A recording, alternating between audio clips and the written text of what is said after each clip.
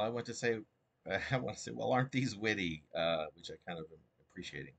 From July of 2010, we're up to uh, number anachronism number 1214 MCCXIV, and this one was posted Tuesday, July the 6th of 2010.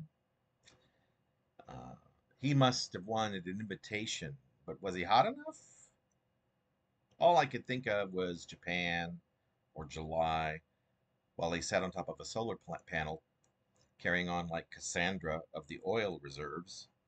I'm okay, but I'm freezing. Must find work. Instead, Barbie finds an etch a sketch in Malibu, invites all her friends over for charades. I'm the team with all the foreign cinema, loves to rain on the parade. Not really. Once ditched, Ken siphons all of the gas out of the convertible. No harm done, though. Prices have leveled off, and Malibu is heaven. Meet me at the bistro on the 28th floor. Then I allow myself to ease on back into Japan. In the boudoir at midnight on Earthquake Day, and I feel it too, all the way up to 32.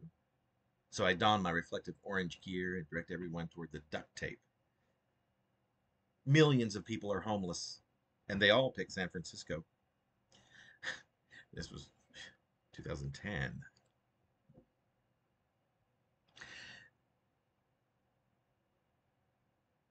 Maybe I'll invite you anyway. After all, zombies are way sexier than vampires.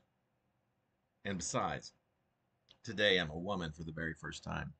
Have an orange wig and an iPhone with directions to hell to prove it.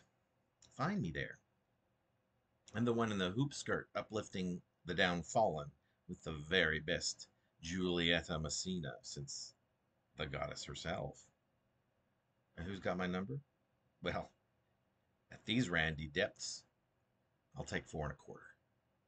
And let's have it quick, as the circus wet sunk Marcello before these molten boobs are sowing in the sticks, reacquainting themselves with the smorgasbord of smorgasbord of whence and wherever. Oh, I sold my girdle to Barbara Eden. It was all but fireproof. I do wish it weren't so dark down here, but hell is exotic and I feel native. Freedom is but an oily whisper. There's an asterisk after whisper, but first there's an om, which ends the poem, except for the explanation of the asterisk at the bottom. Whisper. So freedom is but an oily whisper.